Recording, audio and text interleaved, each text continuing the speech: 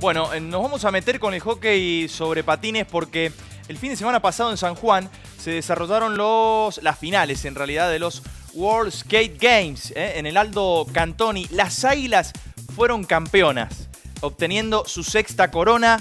Se eh, sacaron la espina contra España justamente en la final, donde le ganaron a, este, a esta selección por 3 eh, a 0. En los, en, las últimas, en los últimos dos mundiales habían eh, llegado a la final y no habían podido con España. Bueno, se cortó esta racha. Sexta corona para las Águilas, que tuvo a cinco mendocinas. ¿eh? Mm, hay que destacarlas. Las hermanas Julieta mm, Fernández y Valentina Fernández.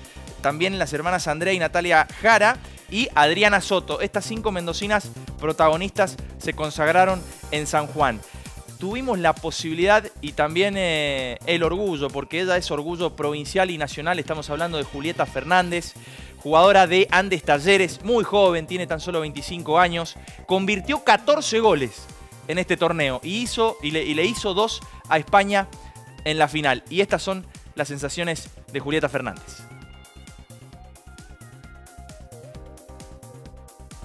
Era la final que todos queríamos, eh, estábamos esperando poder jugar contra España la final, eh, jugar con nuestra gente, en nuestro estadio, en poder disfrutarlo. Era la primera vez que se hacía un mundial en Argentina y sobre todo en San Juan, que es la cuna del hockey mundial, y poder disfrutarlo y ganarle a ella increíble. Además, con un resultado donde no nos pudieron marcar, eh, se notó que todo el trabajo que hicimos durante todos los entrenamientos tuvo sus frutos. ¿Cuántos goles hiciste?